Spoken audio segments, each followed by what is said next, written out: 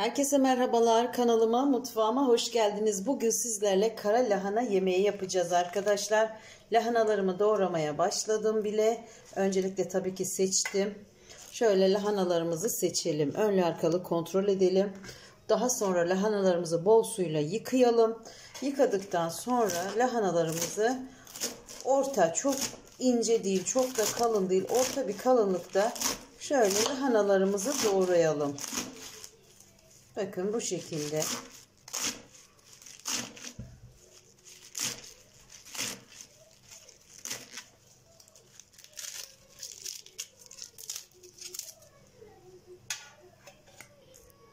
Lahanalarımızı doğrama işlemini bitirdik. Şimdi tenceremizi ocağımıza alalım. Uygun bir tencere ocağımıza alalım. Suyu kaynatalım ve kaynayan suya lahanalarımızı ilave edelim.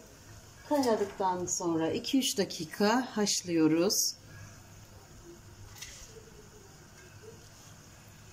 Lahanamızı haşlama nedenimiz acı suyu acılığı çıksın diye arkadaşlar. Eğer bir acılık varsa lahanada o yüzden bir ilk suyunu döküyoruz. Lahananın kaynamaya başladı. Böyle kaynadıktan sonra 2-3 dakika kaynattıktan sonra süzgeçte süzelim. Lahanayı süzdürdüğüm aynı tencereyi ocağıma alıyorum ve içerisine yarım çay bardağı kadar sıvı yağ, bir tatlı kaşığı kadar tereyağımı koydum. Doğradığım bir baş soğanımı ilave ediyorum.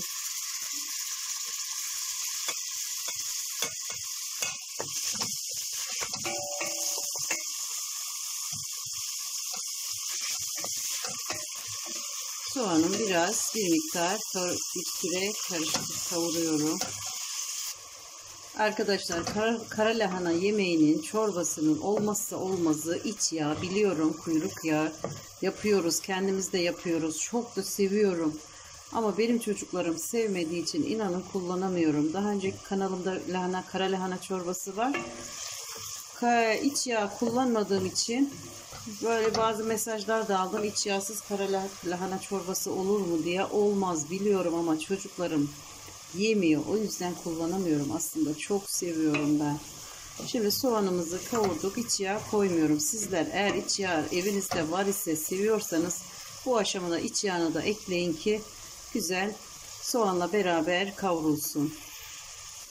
Şöyle dolu dolu değil bir yemek kaşığı salça ilavesi yapıyorum ve acı kullanmayacağım. Çünkü salçayı kendim yaptım.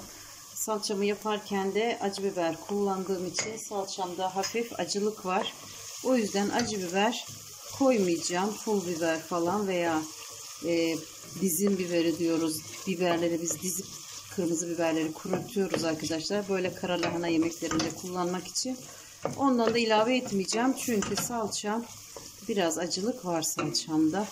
Salçayla da beraber güzelce kavrulsun. Salça kavruldu. Şimdi lahanalarımı salçamın üzerine ilave ediyorum.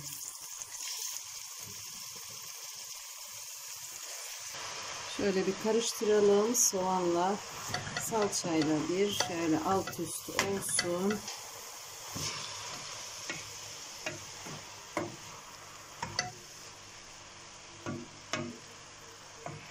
Şöyle bir kase barbunya fasulyesi haşlayabilirsiniz. Benim buzlukta vardı arkadaşlar. Buzluğa daha önce haşlamıştım. Buzluğa atmıştım. Buzluktan kullanıyorum. Bir kase e, mısır. Mısırımı da ilave ediyorum. Mısır da buzluktan arkadaşlar. Bu şekilde buzluğa atınca elim alıyor. Kolaylık oluyor. Karıştırmayacağım. Şöyle üzerinde Yarım çay bardağı yıkadığım bulguru da ilave ediyorum. Bulgur koymak zorunda değilsiniz arkadaşlar. Ben çok seviyorum. O yüzden koydum. Bulgurumu da şöyle koyduktan sonra üze suyunu veriyorum. Üzerine çıkacak kadar suyumu ilave ediyorum.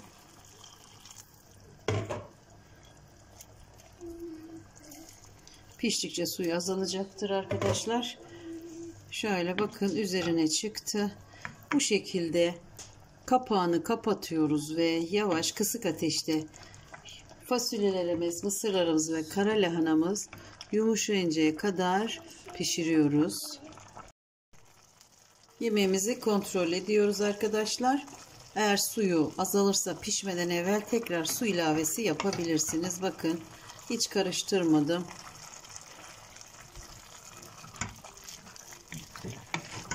Şöyle bir alt üst karıştıracağım şimdi.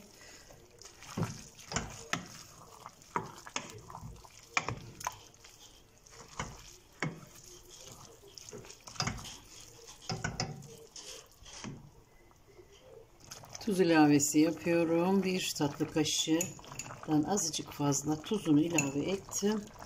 Ve şimdi bir kez daha karıştıracağım ve pişmeye bırakacağım.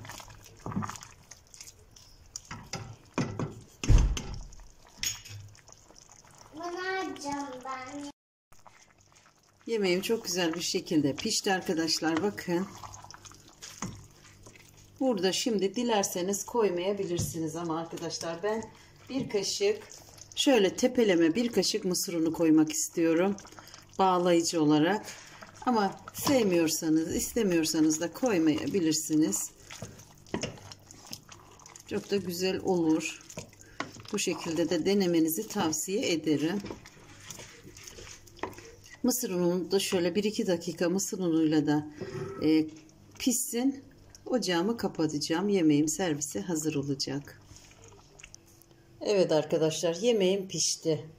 Bakar mısınız şu güzelliğe? Bu güzellik kaçırılır mı arkadaşlar? Denemenizi tavsiye ediyorum. Gerçekten çok güzel oldu. Şöyle tabağıma da alayım.